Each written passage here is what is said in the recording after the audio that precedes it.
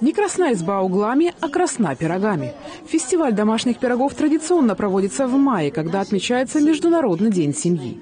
Как и прежде, его площадкой стал Национальный конный парк «Русь» в Молоковском сельском поселении.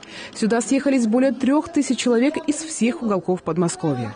Поздравила гостей заместитель министра социального развития Московской области Надежда Боос. Мне кажется, праздник сегодня у нас с вами получится замечательный. А, все для этого есть. Еще раз, настроение есть? Погода есть? Пироги есть? Значит, будем веселиться. Мы с вами готовы. С праздником. Приехали участники, конечно, не с пустыми руками. От гастрономического разнообразия разбегались глаза. Пироги с джемом и ягодами, всевозможных форм и размеров. Каждая семья постаралась проявить фантазию.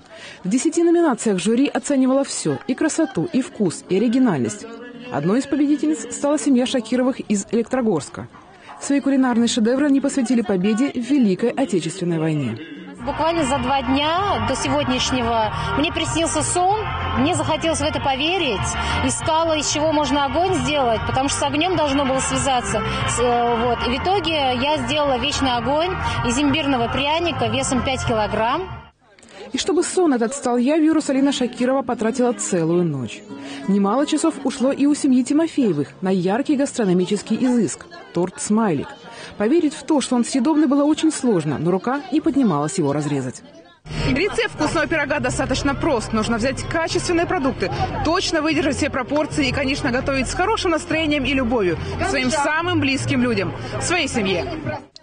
И не зря девиз Тимофеевых, а их семье, между прочим, уже целых 23 года все делать сообща. Мы готовим курники, мы готовим кулебяки, очень любим пирожки. У нас большие семейные традиции, мы любим готовить вместе, всегда собираемся за одним столом, а, все помогают дети. И я надеюсь, что в их семьях будет так же. А глава этой дружной семьи Андрей поделился с нами секретами счастья в уважении к друг другу, поддержку. И самое главное, любовь. Без любви ничего не бывает. Всего более трех десятков сладких шедевров были отмечены жюри, а их авторы получили призы и награды. После торжественной части все желающие могли ухватить вишенку с торта и полакомиться пирогами и выпечкой. Завершился душевный и сытный фестиваль концертом и развлекательной программой. Екатерина Коваленко, Александр Логинов, Сергей Ларин. Видное ТВ.